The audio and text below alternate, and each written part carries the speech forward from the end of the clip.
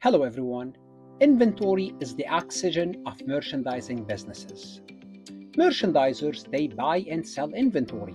That's their core operation. Therefore, inventory is a critical aspect of their business. In this session, we would look at how to account for inventory and determine its cost. We will see that inventory, not just the purchase price, we need to determine the full cost of it. And why is this important?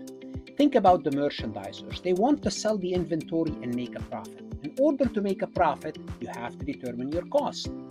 We need to know what's included, what's excluded, because we need to allocate the cost of that inventory to various inventory items. Think about companies like uh, Walmart, Costco, your local supermarket. They pay one price for many items. How do they allocate this cost to the various items? Now, in the real world, this is a tricky business. In this session, we would look at basic rules. We would also revisit the concept of FOB shipping, FOB destination, goods on consignment. We would also look at the internal control for managing inventory. At the end, we will work a multiple choice question. Let's go ahead and get started. Before we proceed any further, I have a public announcement about my company, farhatlectures.com. Our financial accounting course is best for online students and students who are struggling in their financial accounting courses. We cover all the essentials from debits and credits, adjusting entries, closing entries, financial statements, and all balance sheet accounts. Our comprehensive course include lectures, multiple choice, true false, as well as practical exercises. Start your free trial today to help you pass your financial accounting course. Your success starts here. Let's start by looking at items, at key consideration that we have to take into account when we are handling, when we are counting, when we are accounting for inventory. So it's not only about determining the cost associated with inventory. That's important. But we have to be aware that inventory encompasses, it includes all goods a company owns and hold for sale, regardless of their location. What does that mean? At some point or sometimes a company may not have the inventory on site. However, they have to count that inventory and sometime they might have inventory on site and it may not be their inventory. To manage inventory, we have to ask questions. We have to understand what is truly our inventory. Inventory that we own and hold for sale. We don't have to have it on location. So there are three things we have to learn about in order to resolve this issue. One is goods in transit. Two, goods on consignment. Three, damaged goods or obsolete goods. So we're going to discuss each one of those separately. Why? Because they will determine our final inventory, and that's important. How do we determine our inventory? First, goods in transit, and we touched upon this in the prior recording. So if we have goods in transit, in transit means what? It means we purchased some good. It means there's a buyer and there's a seller. That's fine. Well, the buyer's gonna buy the goods, there's and the seller's gonna deliver the goods. The question is, in between, in between. And this in between could be five minutes, could be five hours, could be five days. Think about when you ship something from Europe in a plane, or you ship something from China that takes a month in a boat. Or think about going down the store and buying something. Well, that's goods in transit. How do we determine whose good is it? So the question is, whose good is it? Whose inventory is it while it's in transit? Well, it all depends on the terms of the shipment. What's the term? What did we agree on? If the terms are FOB, free on board, don't worry about what FOB is. If it's shipping point, when goods are shipping point, the buyer assumes ownership of the goods as soon as they are shipped. So we're going to assume this individual is the buyer. Okay? If this individual is the buyer, if they visit the seller, so the buyers drive their van, drive their van, this is the van right here, they, they drive the van and they pick up the goods. As soon as they pick up the goods and they put the goods in, the, in this van, in transit, it's the buyer's inventory. So if the shipments are shipping goods, in other words, the buyer is paying. Paying means what? Means taking responsibility. They can drive their own van, they can hire a third party, they can send one of their employees. It doesn't matter. If it's shipping point, as soon as it, leaves the seller and, it's in the possession of the buyer, it's the buyer goods. Now, in between, it may take a day, it may take five days. It's the buyer. Now, we're going to change the terms. We're going to assume we're going to assume that this is the seller. So the seller is putting the goods in this van and the seller is delivering the goods. This is called FOB destination. If it's FOB destination, the seller retains ownership of the goods until they reach the buyer.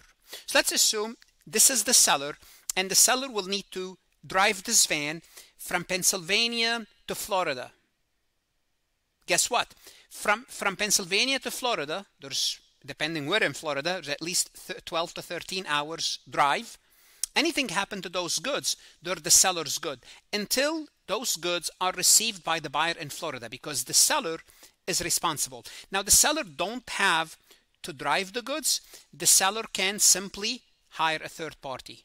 So these goods remain with the seller during transit. So make sure you know the difference between FOB shipping, FOB destination, because we're going to see later on that counting inventory is very important. The other topic that we need to deal with is goods on consignment. Goods on consignment basically, uh, you know, uh, what, what is it? It's basically someone placing goods with you to sell it for them. So you're not buying the goods, they're placing it with you.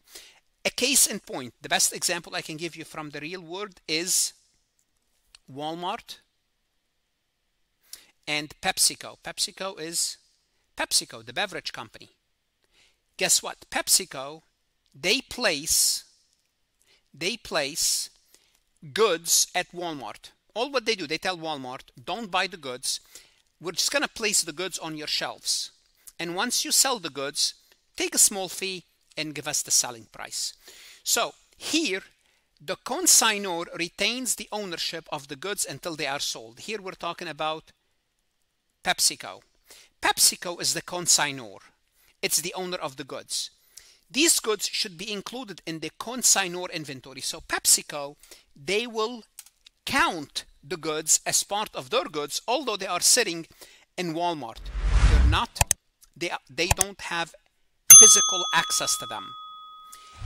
Consignee, the seller, which is in this situation Walmart, sells the goods on behalf of the consignor but does not owe, owe them. Now, what does that mean? It means when they count the inventory, they don't include they don't include the goods that PepsiCo have for them. They will not include this. So what does that mean? It means when you're doing an audit or when you when you are counting the inventory, especially when you're an auditor, and I used to go you know face this situation quite often. When you're doing an audit you ask you ask the retailer you ask the company that you're auditing do you have any goods on consignment? And if they say yes the next next question is identify them for me. I want to know what they are. So when i count the goods i am not including them.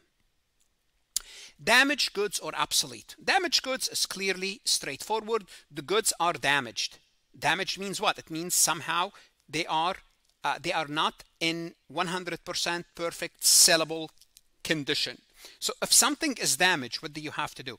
If you purchase, if a retailer purchased an item for $100, then this item is damaged. Let's assume a table.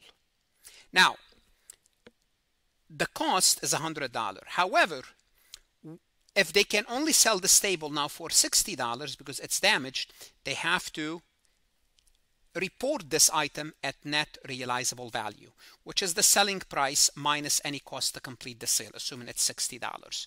So we have to look at damaged goods. So we cannot keep reporting the stable at $100. It's damaged. Then we have obsolete goods. What's the difference between damaged and obsolete? Damaged goods are goods that you can see physically that the goods are damaged. Obsolete goods, they're no longer useful or sellable like outdated software. Think about if you still have Windows 95 CD-ROM of Windows 95. They might be worth something. They're they're antique at this point, but if you do have them, there still might be in good condition, 100% good condition. The CD-ROM is still in good condition, but they're obsolete. No one's going to buy them from you. Guess what? Write them down. Write them down to net realizable value. Take the loss, and sometime you might have to, to take the loss for zero. So those are the three things we have to take into account when we are counting inventory. So when we are counting inventory, when determining the cost, we have to determine the appropriate cost. And we're going to see why later. You're going to see what does inventory affect. The cost of inventory include all expenditure necessary to bring the items to a saleable condition and location. Here's what to consider. First, the invoice price. What you pay for that item is important. Then you have to take into account any discount. Any discount received is deducted from the invoiced cost. We'll work an example. Other costs that could be included in inventory, think about it. Shipping, if you're buying for shipment, if you're paying for shipping cost, you add that shipping cost to the cost of the inventory. Storage, if you have to store these items, you add this.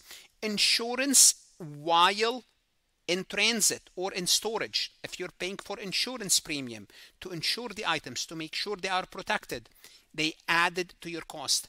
Any taxes you pay, any import duties. What are import duties? Taxes that are paid to import to bring something from overseas. All of those are additional costs that are added to the invoice cost. Obviously, discount is a minus. An example would be, let's assume you purchased an item for 200. That's the that's the invoice cost. You receive $10 discount. You're going to deduct that from the $10. You incur the $20 in storage, $30 in insurance, and $10 import duties this item costs you $250. This is the total cost for that item. Also, when you're counting uh, inventory, and this is one of the best internal control. What's internal control? Internal control is protecting your asset. We're going to talk about this later on in a separate recording, but internal control are policies and procedures to make sure your asset are protected. Your asset are protected. So one of the best internal control for inventory is to count is to count the inventory. Why? Because you want to count the inventory to determine whether the inventory is in good condition and you still have the actual inventory. What if it went missing? Theft, shrinkage, lost, damage, obsolete. You want to count the inventory. So companies implement internal control and perform re regular physical counts to verify that inventory listed in the books in the computer system matches the actual inventory on hand. Now there are certain practices for counting inventory, such as pre-numbered inventory tickets, independent counters, verification, multiple counts, managerial oversight. We're going to go over each one of them briefly and give an example. What's a pre-numbered ticket? Use uniquely numbered tags. You tag each item or tickets to track each item and avoid double counting. For example, if you are counting pallet of goods in a warehouse, you tag each one of them with a pre-numbered inventory ticket. For example, if the warehouse has 500 pallets, each pallet is tagged with a unique number ranging from 1 to 500. So during the inventory count, the counters record the quantity of items on each pre-number ticket. And what would, what would this system do? It will help track each pallet and avoid the risk of double counting or missing any pallets. Did we count them all, the 500? If a discrepancy arises, the specific pallet can be easily located using its unique number. You want to have independent counters, and this is a very important internal control for companies when they're counting inventory. What's independent counters? Independent of what? Independent of handling the inventory. Assigned people who are not involved in handling the inventory to count, to count the inventory. So let's look at a retail store. When they do their annual inventory and assign tasks to employee, they will do so for the inventory, bring employee from different department who are not involved in day-to-day -day inventory handling. Why? So the people that count the inventory should not work in the inventory. For example, staff from the finance department are tasked with counting the inventory in the electronic section. Why? Because these employees do not interact with the inventory. They provide unbiased and accurate count. That's one thing. Two, which is important, is they have no incentive to miscount the inventory. They have no incentive, in, in other words, to lie about the count of the inventory because they don't handle inventory. Because if they lie, they have no interest because they cannot change the record. But if you let the people who handle the inventory count the inventory, they will steal the inventory, change the record, and tell you everything is good. Also, their lack of familiarity with the inventory reduce the risk of intentional or unintentional errors because they're looking at it from a different perspective. They have no biases. But the most important thing about independent counter is they have no vested interest because they're coming from a different place, different department to miscount the inventory. Always you want to do a verification. Count teams should check and confirm the existence, quantity, and condition of the inventory. So when you're counting the inventory, you don't only count, you make sure it's there. So if it's a box, you might have to open the box, count the items inside the box, look at their condition, verify everything. And a pharmaceutical company, after the initial inventory, the counting team verified the record by physically checking the existence, quantity, and condition of each item, or they might sample to make sure everything is there. So if the initial counts records 50 boxes of a specific medicine, the verification team physically inspect and recount the boxes to confirm that 50 boxes are indeed present and in saleable good condition. Any discrepancies are noted, investigated to ensure accuracy. You might have to do multiple counts conduct a second count by a different team to make sure accuracy and consistency. For example, a retail store schedule multiple counts to ensure accuracy. For example, the store inventory team conducts an initial audit or initial count of all the jeans in the store. Later, a different team recounts the same jeans. And if there's any discrepancies, one team counted 150, the other 148, we want to come up with a solution, recount or check in for any misplaced item until we get to the correct number. And managerial oversight is critical in this process.